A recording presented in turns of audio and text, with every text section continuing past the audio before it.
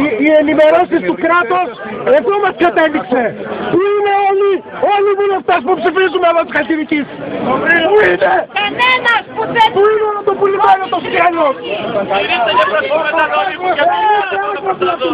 Πώς θα παίρνετε ρε παιδιά που στάθηκατε απέναντι σε εμάς; Πρώτα σας γαμάνε.